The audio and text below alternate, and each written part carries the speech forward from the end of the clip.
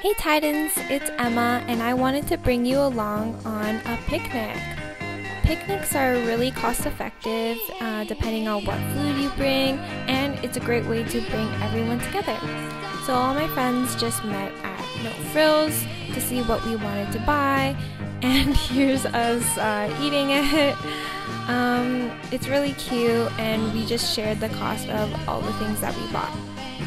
After that, we hiked up and found a little spot where we can eat our food, and it's really gorgeous with all the scenery around us.